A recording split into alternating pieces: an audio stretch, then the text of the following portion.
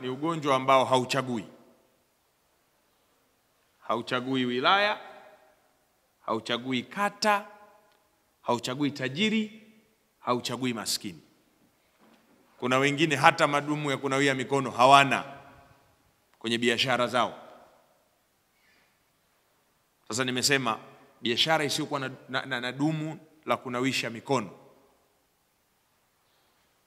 iwe ni mgahawa, iwe ni duka,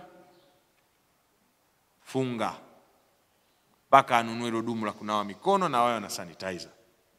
Kwenye stendi zetu Kibaigwa, Kongwa, Mbande, hakikisheni kuna eneo maalum la kunawa mikono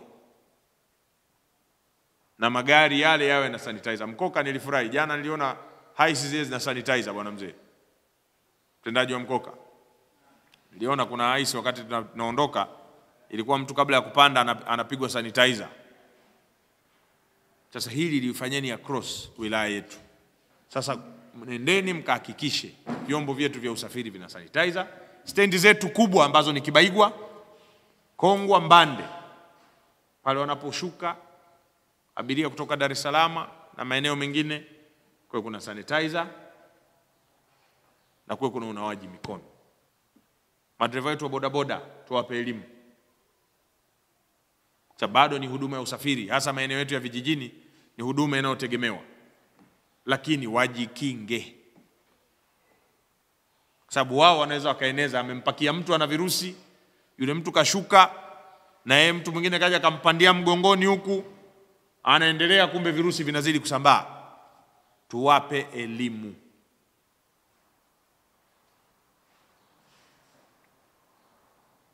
Ikiwezekana das DMO tuone kama tuna gloves, watu wa bodaboda wapewe.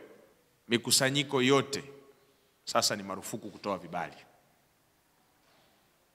Mikusanyiko yote ni marufuku kutoa vibali.